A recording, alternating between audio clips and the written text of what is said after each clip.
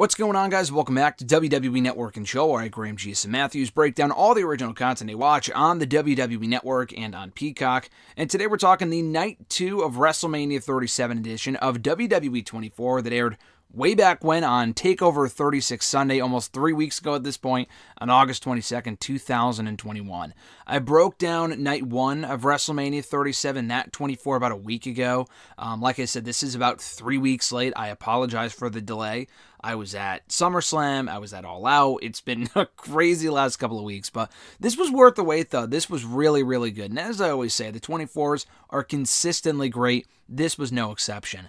Um, I was at WrestleMania this year as well, so reliving these events and the matches and the moments really resonated with me while watching it. Uh, this was slightly shorter than the first part. Uh, this one was around 45 minutes. The first one was closer to an hour, but it was still very enjoyable, focusing around, kind of revolving around Rhea Ripley, Edge, Natalya, Tamina, and um, Sheamus and their respective matches on the show. So we see clips of it raining prior to the event, which it was that day. It was a pretty bad I don't want to say hurricane, but a pretty bad rainstorm that entire Sunday, night two of WrestleMania. Uh, we were at our hotel that day and we actually lost power at the hotel. I don't think I've ever lost power at a hotel before, but we did that morning for like a good hour. Uh, that's how bad the rain was for the better part of the day. Thankfully, it cleared up right before the show was supposed to start. They didn't have to delay matters a lot like the day before, so we got lucky in that case.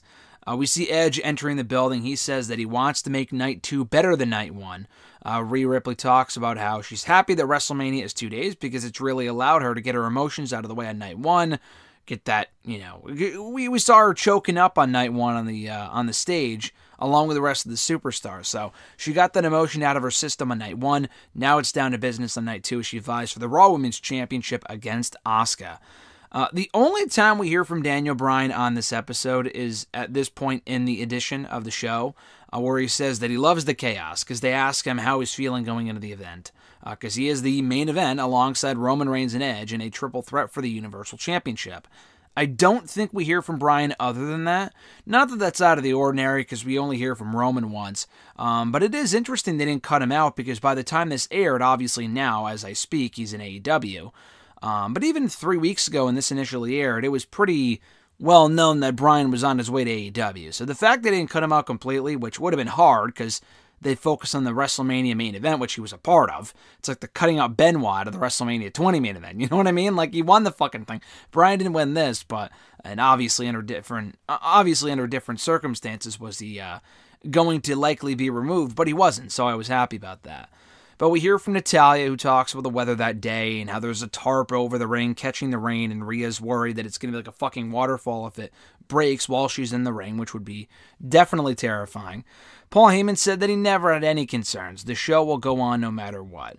Uh, Tamina talks about pulling double duty, winning the tag team or winning the tag team turmoil match.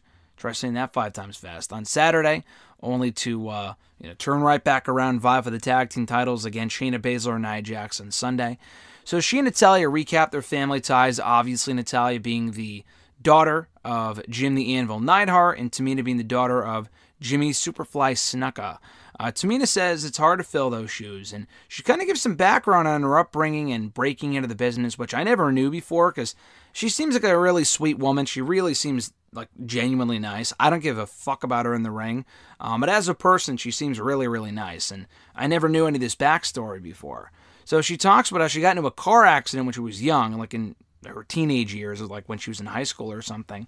And that kind of prevented her from really doing anything with her life until after she had kids. So she wanted to give wrestling a shot. She tried it a little bit later than most people, but she got signed by WWE, uh, went to FCW, debuted on the main roster in May of 2010 against the Hart Dynasty, including Natalya. So that was when they met in real life. Um, Natalya talks about always having to adapt, and whether it be doing interviews or being a diva, being a women's wrestler, being a champion, being a manager, she's always been willing to adapt to whatever the company's had her do. As for Tamina, she's done so many things over the course of her career. Uh, she was a singles competitor at one point. She was with Santino on TV like a decade ago after the Uso stuff kind of ran its course. Because she was with the Usos. She was on her own. She was getting pushed on her own as Tamina Snuka towards the Divas Championship for a little bit. She was the manager for AJ Lee. She joined Team Bad in 2015. She talked about here how she thought that would be the next New Day, would be Team Bad, and they would kind of be together for the rest of their careers, which thank the frickin' Lord did not happen because Sasha Banks would have been doomed. Team Bad was not bad, no pun intended, but Sasha Banks was so much more than that, even at that point. But Natalya told Tamina, you got to be more selfish. Natalya has had her accomplishments. She's a former women's champion. Uh, she's had her moments in WWE. She's a former Divas champion, SmackDown Women's champion. But she, you know, saw Tamina not getting those same moments. Tamina had never been a champion before in WWE prior to this. So she really encouraged her to be more selfish and really get that moment for herself. They became the first woman, according to them, to have two WrestleMania matches back to back on two you know, back to back nights or on the same event, just two different nights, whatever. Uh, so then we hear from Sheamus, who talks about how he grew up on wrestling and really got into wrestling thanks to his dad bringing home a VHS copy, I believe, of WrestleMania 2. And he really got drawn in by Macho Man Randy Savage. Great pick. Great taste there by Sheamus. Uh, upon arriving in WWE, and this is kind of like an abbreviated version of Sheamus's WWE career, he experienced success very quickly um, beating John Cena within six months of arriving on the main roster in 2009 to become the WWE Champion. He went from Cena to Randy Orton of the Royal Rumble to then Triple H at WrestleMania 26, uh, who he lost to, but still to even be in that spot was a pretty big deal.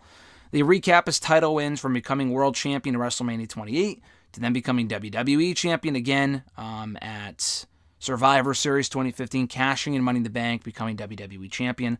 And then we fast forward to the 2016 draft. Uh, just seven months after being the WWE Champion, he was picked last in the televised portion of the 2016 WWE Draft by the Raw brand. And he thought it was a serious fall from grace. He said right here that he felt like he was ready to leave. And it was around that point that Cesaro became a brother to him. They formed the bond, or they formed the formed the bar and had a bond rather. And he really got to relax as a character and be more of himself on the show. And he's always looking to his next goal, which brings him to the United States Championship at WrestleMania 37. Uh, we then hear from Rhea Ripley, who talks about how, as mentioned earlier, she's experiencing a lot of emotions going into a Raw Women's Championship opportunity at WrestleMania 37 Night 2. Uh, she enjoyed her WrestleMania 36 experience. She thought it was an amazing match with Charlotte, which it was, but she felt lost after she lost that match, and she felt like she lost confidence in herself because, as she says here, she wasn't being portrayed the same way that she was before. So she's talking about the booking, which was fucking terrible. And I remember Triple H saying, oh, it's long term storytelling. Well, I would love to know what that long term storytelling is because Rhea Ripley still has yet to beat Charlotte Flair. When the fuck are we getting that win over Charlotte Flair? It's been a year and a half now. Let's speed this thing up. You know what I mean? It really hasn't done Rhea any favors.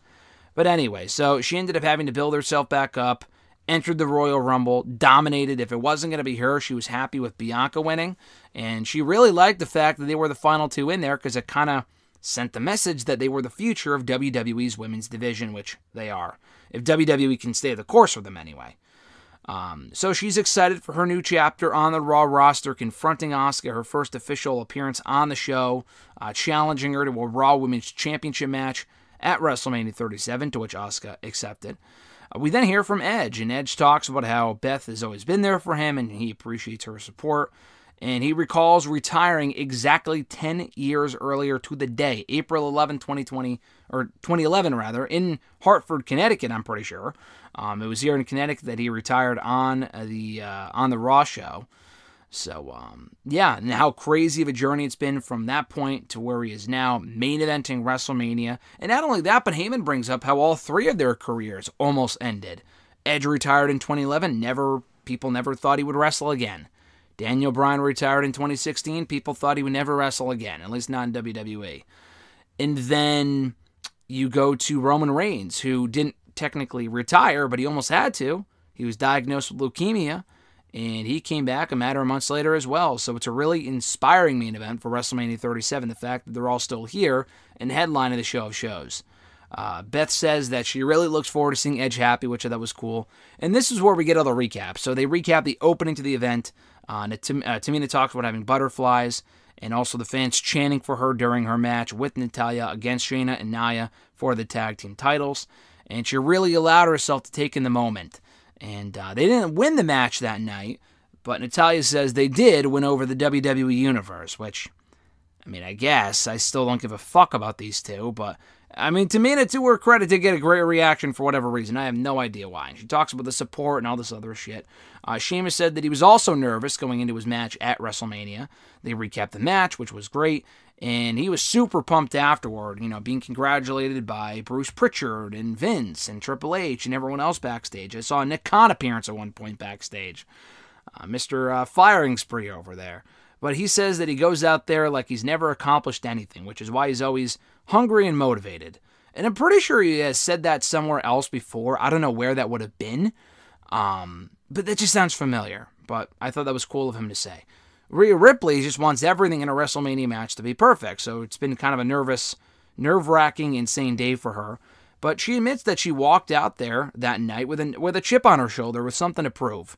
Uh, they recapped the Rhea Ripley Asuka match that saw Rhea Ripley emerge victorious as the new Raw Women's Champion.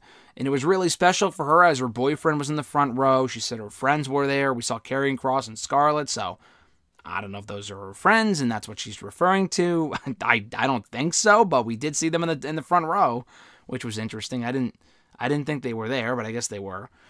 Um, so anyway, she talks about that and how Edge Edge discusses how amazing it is and how amazing it feels to be in the main event of WrestleMania. They recap their tremendous triple threat match.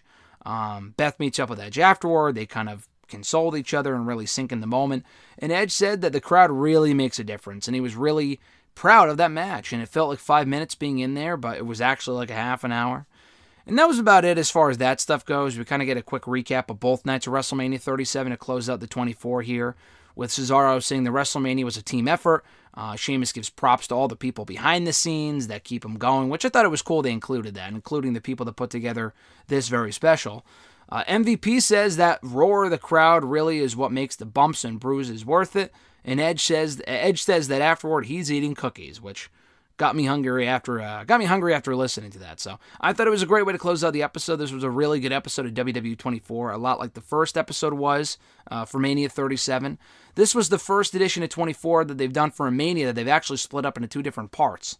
Um, but they have done a 24 in every Mania, I'm pretty sure, dating back to 30. So there's six, seven other episodes of 24 as far as the manias are concerned, all are worth watching. The 24s are always a great piece of business. This was no exception, exception as I said earlier. So take the time, seek it out, give it a watch. It's great stuff. WrestleMania 37, Night 2, edition of WWE 24. And thank you guys for checking out my review of the episode, and thank you for your patience. I know it's been three weeks, but we're finally here. Finally got it done. Appreciate your patience. So hopefully, won't be another three weeks before I do another one of these network and chill videos, uh, breaking down whatever's new on Peacock, which lately has not been much, but they did as of this recording, put up that uh, 9/11 tribute documentary that they did called Never Forget on Friday. I'm pretty sure, so I'll probably watch and recap that at some point as well. Have an awesome one, guys. I'm Graham G. Matthews, and I'll catch your ass down the road.